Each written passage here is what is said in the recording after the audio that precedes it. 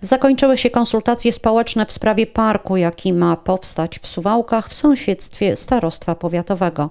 Z opublikowanego przez ratusz zestawienia wynika, że wzięła w nich udział znikoma ilość mieszkańców.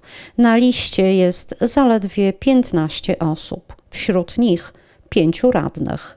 Kolejne dwie osoby to pracownicy Wydziału Obsługi Prezydenta, Komunikacji Społecznej i Promocji Urzędu Miasta w Suwałkach. Spośród zgłoszonych uwag kilku nie uwzględniono. Jeden z mieszkańców postawił na całkowitą zmianę koncepcji, umieszczając przy ulicy Nowomiejskiej gmach biblioteki publicznej. Na terenie, w którym przyszła siedziba tej instytucji jest planowana, konsultujący widzi miejsce na kolejny sklep.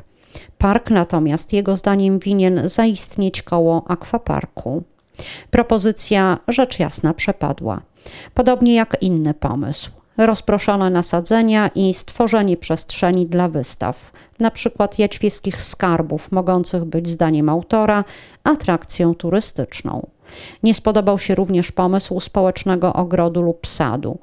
Poległ też pomysł rezygnacji z pawilonów, w których można posadowić małą gastronomię. Poklask zyskały pomysły dotyczące źródełek wody pitnej, placu zabaw dla dzieci czy tzw. Tak psich pakietów. Teraz ratusz na swojej stronie udostępnił wizualizację poprawionych wersji parku i zaprasza do głosowania.